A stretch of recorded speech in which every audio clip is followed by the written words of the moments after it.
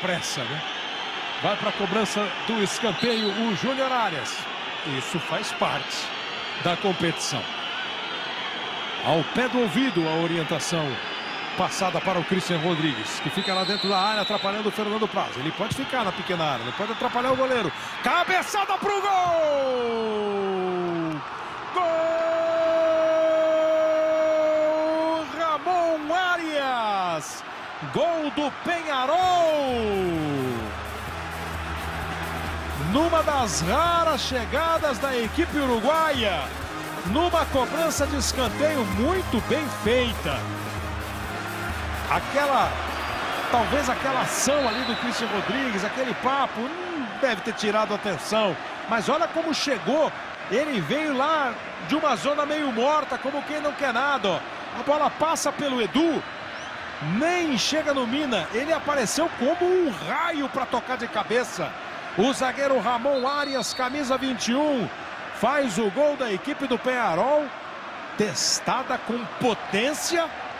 E foi a movimentação dele. Ele não teve uma marcação individual, a movimentação foi fatal. Ritmo mesmo. Tentar apertar, encurralar, acuar a equipe uruguaia e ver se sai logo o primeiro gol, o gol de empate. Fabiano Trouxe para o pé esquerdo, fez o cruzamento para a área do Dracena. Olha a chance do Borja, a bola escapou dele, vai sair o gol! Gol! William! Gol do Palmeiras!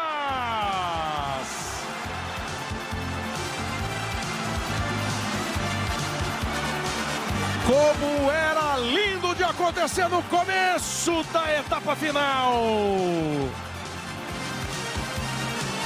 A bola cruzada, o Edu Dracena brigou. O Fabiano trouxe para o pé esquerdo. Até alguém pode dizer, não, chuveirinho não. Mas ele mandou a bola para dentro da grande área. Edu Dracena, Borra e ela sobra para o William. Do Felipe para o Fabiano. Depois teve reclamação, chiadeira, cartão amarelo. Estamos vendo o lance com atenção aí, ó. Borra e o gol. William, bola pro fundo do gol. William, camisa 25. O Palmeiras empata o jogo, empata cedo. Nem que o, fosse o melhor roteirista. Cinco minutos, o Palmeiras empata o jogo. Olha aí, a chance do segundo gol. Guerra, tem lá na frente o Dudu, tocou pro Dudu, tocou pra rede. Gol!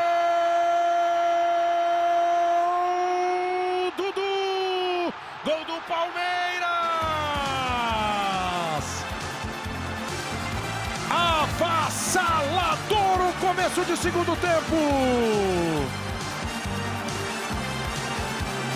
Faz valer a pressão, o talento, a torcida, o clima e vira o jogo!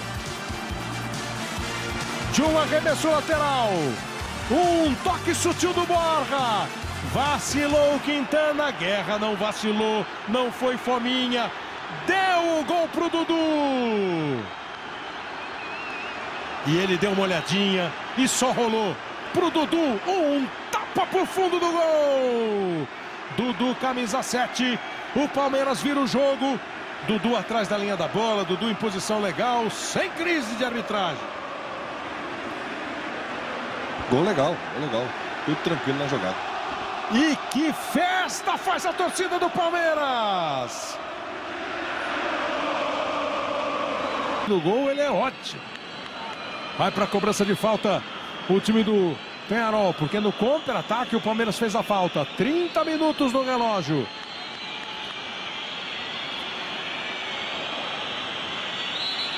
Estamos esperando o árbitro apitar. O jogador do Penharol também, né? E aí?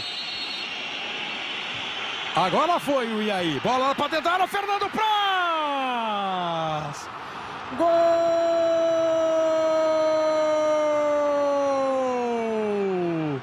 Gaston Rodrigues do Penharol. Na bola parada. Segunda vez que o time uruguaio tem a chance de uma bola parada. A cabeçada o Fernando Praz pegou. Ó, vamos ver agora as posições de todo mundo. Até aí, tudo normal, né? A não ser que cabeceie esse aqui Não. da ponta. Normal. E no rebote também normal, Garcia? Atrás da linha da bola, gol legal. Uma cabeçada muito difícil de se defender, ó. Foi o Quintana quem cabeceou. O Fernando foi buscar. Você achou que na hora da cabeçada do Quintana o rebote estava atrás da linha da bola? Tá atrás da linha da bola. É, o gol é legal.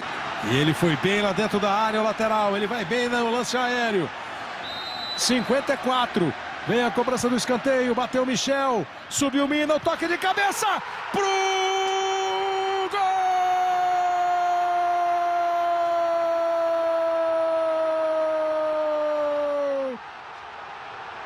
Fabiano. Gol do Palmeiras!